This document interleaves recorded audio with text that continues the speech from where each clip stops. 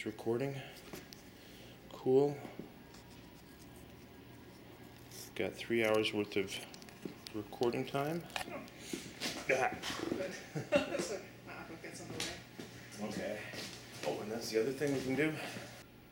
Yeah, small introduction. Who you are, why you, why I'm, why I'm videotaping. You should be doing that. I'm introducing myself. Yes, uh-huh. Okay. Bettina Forget. I'm an artist. I uh, run the Visual Voice Gallery.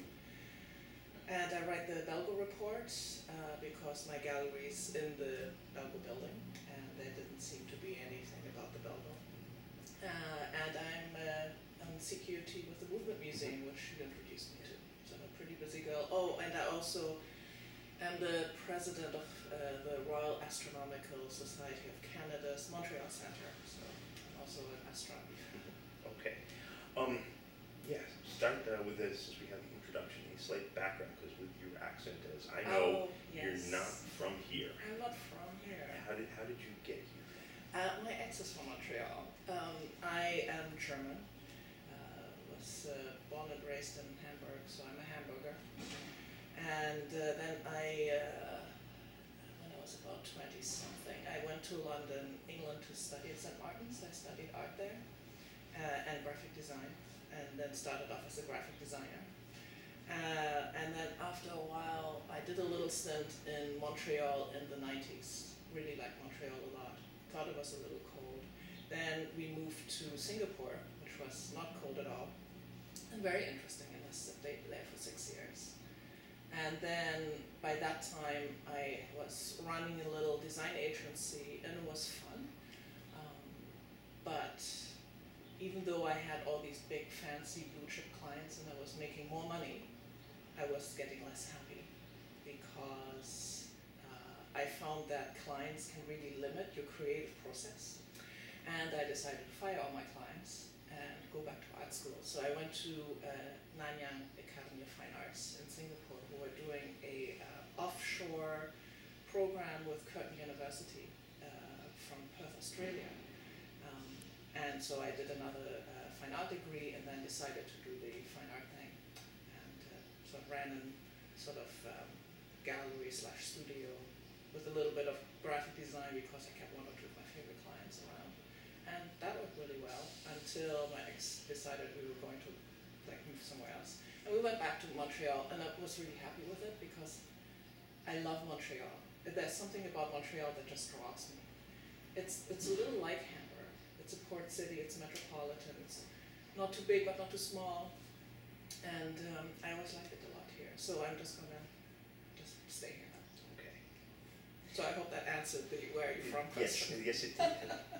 Um, the thing that also fascinates me is the astronomy and the arts. Mhm. Where I can understand these, uh, well, the arts, but that just makes perfect sense. Why anybody would want to do anything else other than be an artist, I don't know.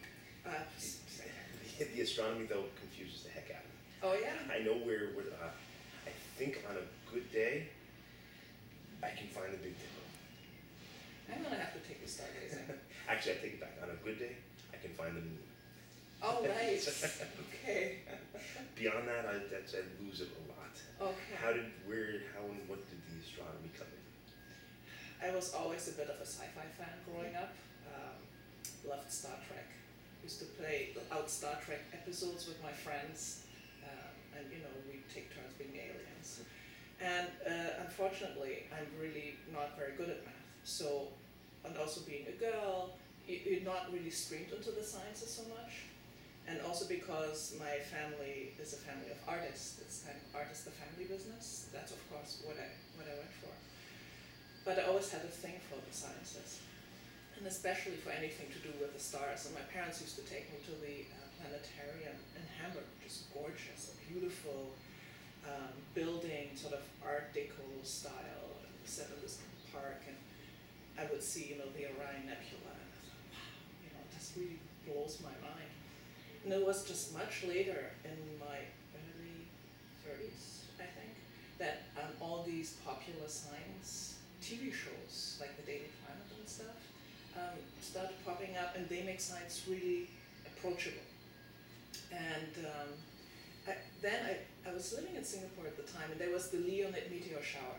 which was going to be hailed as like it comes around every year, but this one was going to be special. There's going to be like thousands of shooting stars, and of course, my friends and I, we all went out to the edge of Singapore where it was darker with picnic blankets, and I had bought a, a star atlas. We were sitting there and trying to find out where Leo was because it's the Leonids, right? So it comes to the radiant is out of Leo, and I could barely read the star map, but I was so into it. So I thought, okay, for my next birthday, I want a telescope.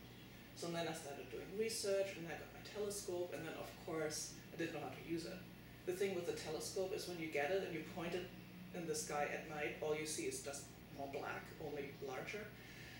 And so I looked around on the internet and there was an astronomy club, so I immediately signed up for that. And the thing with amateur astronomers is that they're just as passionate about what they do as artists. They're just nearly the same people, only their tools are different. They don't have photographic cameras and brushes, they have, you know, eyepiece telescopes. So it was really easy to talk to these guys. And you know, very soon I was on the board of the astronomy club and was organizing events. And at the same time, I was doing my fine art degree, and suddenly I realized I can sort of combine this because art should be about something, and astronomy is about something. It's about big ideas, about you know where we're from and how did we get here. So actually, for me, it was a really easy overlap. Um, and I actually think that science and arts are really not that separate once you get into it.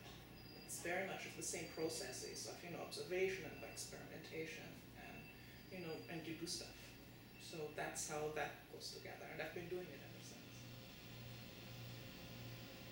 Okay. How does astronomy work into your art? Um, it's about like ideas. I would like pick a thing. I, I like to read a lot, so I read a lot of things, you know, astronomy books and stuff. And then suddenly something would spark. Like when I read this book about um, the Voyager probes and you know all the um, space probes that went around in the solar system and looked at other moons.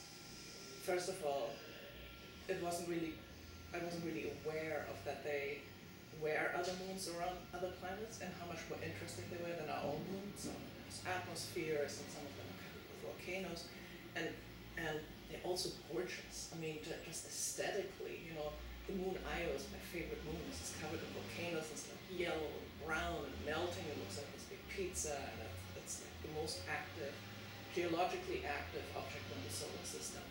And and so immediately it's like I see like 20 paintings right there. So that is really, you know, these kind of things, or stellar evolution, you know, like where we're made of stardust and sort of that whole concept can be explored. Um, so there's a lot in there. It's a very rich subject that can be explored in many different ways. Okay, although there, it's the sort of thing where now, like the stuff that you're doing now, at least the one I'm most familiar with is your, what's called Random Year project. Oh yeah. Are you sort of, do you find yourself switching into other media, or would you still consider yourself a painter? I see the easel there. Yeah, I, I still do painting. I'm never gonna get really away from painting because I like the tactile nature of it and and that idea of making an object. And and I just like big pots of paint. And this is like how I grew up, and that's my comfort zone. I need to be surrounded by lots of paint tubes. But I have, you know, the the whole astronomy thing. It's great, and you can wave in a, a human narrative in there to a point we are made of stardust it's very much about humans. But the moons of the solar system, what I'm really saying is, you know, we are all thinking too much, you know, we're too geocentric, there may be other places out there that can support life, but it doesn't really bring in the human. And I've never been much of a navel gazer, but I had some, recent changes in my life that forced me to look at more of who I am and, you know, really changes in my, my situation. And so I started navel gazing a little bit. So I decided, well, maybe I just do, should do something about me, but in a way that other people can relate to. So that that's what started the One Random Year project, um, which is where I take a one-minute video of my life, like every day for a year. So which makes 365 minutes. So it'll be a six-hour movie. Um, and the idea behind that is I just want to see if I'm just, um, if my life has a narrative, if I'm just pushed around by the wind, if, you know, anybody's life has any sense of meaning or story arc, or if it's just like totally random, you just, you know, just like a cork on water, you're just sort of bobbing around. By naming the one random year project, I think you already presupposed certain things. It's just a random, well, I'm presupposing certain things, but then by choosing the medium film, I'm also presupposing something else. Because when you have one scene and then you butt it up with another scene, what happens right there is that you're gonna make a connection, even though it's completely random. I'm taking really random minutes. But you're so used to storytelling in film that of course you're gonna make a connection. People make patterns all the time. You, you talked about you're gonna, you know, just about recognize the Big Dipper. That's just a random pattern that we assign. Has nothing to do with anything. These stars are not even like, you know, near each other. But we look at anything and we make a pattern. We make pattern out of objects, we make pattern out of things that happen in our lives. So that's, and then it's even worse when you're in the life, you know, and you're just leading it. And then you have a completely different perspective on the same things that happen if you're outside and now you're a spectator. So I'm gonna be both living the life and then I'm gonna be a spectator afterwards, which is gonna be really